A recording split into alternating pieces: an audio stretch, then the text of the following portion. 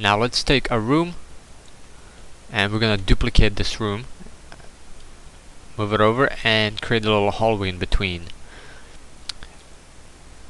Also I want to say one thing about um, building maps inside um, Hammer Source is when you build your rooms you never ever ever ever want to have any gaps.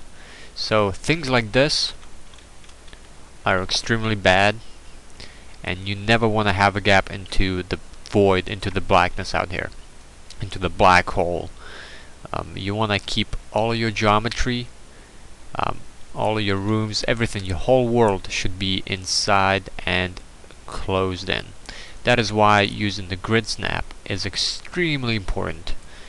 And um, if you do have gaps like this, or even tinier, that what usually happens is uh, you know you're able to spot bigger gaps. But if it's a little small gaps, then uh, what that creates is a leak, and it's basically an error. And uh, I'll go into detail a little later about leaks and uh, how to fix them. But you want to make sure that you don't have any uh, holes into the uh, the big black void and so also I want to point out I just discovered that if this character if I move his eyes are following me as I as we map and that's kind of freaky. Anyway let's move on.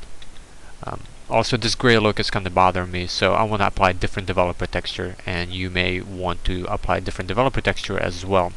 And the way you do that is you select this uh, texture little icon here it looks like a UV grid and then you hit browse and select the texture that you want. And then the right mouse button on the surface applies it. And if you hit the left mouse button it selects that texture. And if you want to apply this texture you just uh, hit the right mouse button.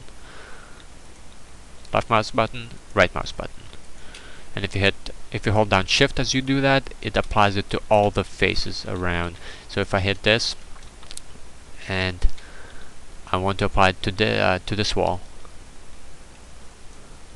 but it does not apply to the the rest of the faces but if I select press shift right mouse button, it, apply, it applies to all the single faces around on, on that brush. So, let's duplicate our room into exact uh, same room across and then we're going to build the hallway in between. And the way you do that, you want to select each individual brush um, on here, uh, all of them, and you do that by holding down Control and Shift. And select all the faces. Go into the top view shift drag and we have our and looks like I forgot a little face in here. So what I'm gonna do is I'm gonna delete this I'm gonna repeat the whole function again. So no worries you can just redo the whole thing again. Shift shift Z shift Z into here shift drag. And we have our uh, second room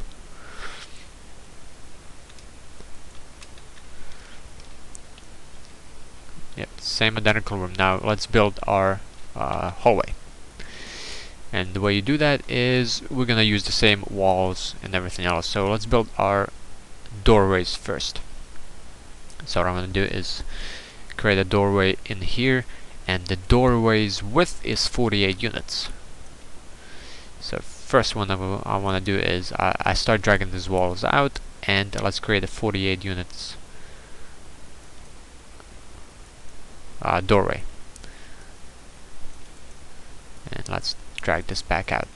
So what I just did here, I just created three different walls because this is going to be our um, this is going to be our doorway. So I just needed the template to know uh, where to resize the rest of the walls at. Now what I want to do is we need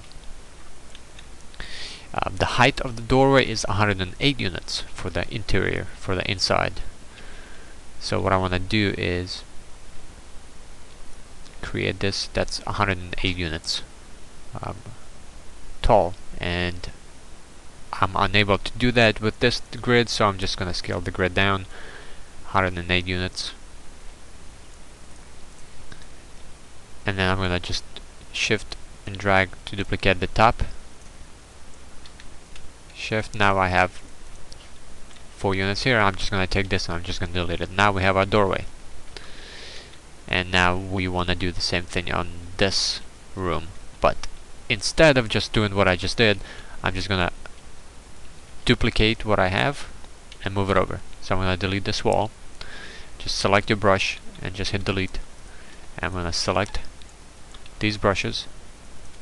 I'm gonna put my uh, grid back to uh, 16 this is very important because you don't want to have any leaks you want to stay on grid as, as often as possible until you are adding details. And now I have my second doorway. So let's build our floor our ceiling and our walls for the hallway. I'm gonna just uh, select select our floor shift drag drag it over and just scale it down I, I want my hallway to be a little wider than my doorways because you know all walls don't start at a at a door frame. And I want to extend this out a bit more. Let's go up to the side and drag and create a ceiling. And then let's create our walls. I'm gonna use this wall, I'm gonna just select shift drag scale it down and drag it across. Check my perspective. Everything's looking good. And take this and duplicate this all the way across. And now we have a hallway and uh, two doorways.